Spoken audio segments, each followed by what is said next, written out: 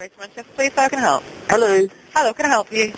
My car is nearly, i- it's really stuck in the ice and I'm thinking that if I just like move anywhere, uh, uh, the car will just go slipping everywhere.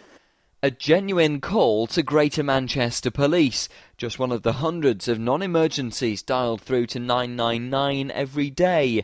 They waste the time of the police, fire and ambulance services and could be putting lives at risk. We've had uh, people phone up because the pets are injured some way or other.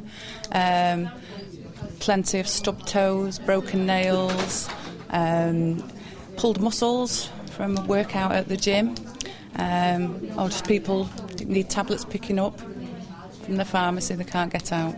So how often do you notice you get these kind of inappropriate calls?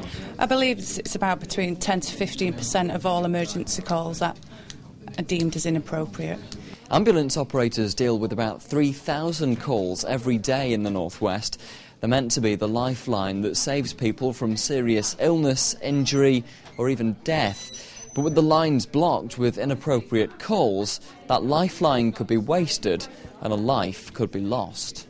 I'd say think before you call. Think about why you're calling. Think about why you think you need an ambulance, and then think about could you go to a pharmacy, could you go to your doctor, could you call the NHS Direct, or could you go to a walk-in centre before you call us.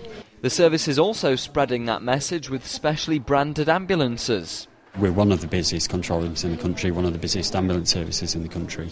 Uh, when we are extremely busy, we, we put out a lot of resource out on the road, and those vehicles, as they come free, go to the next emergency as they're available.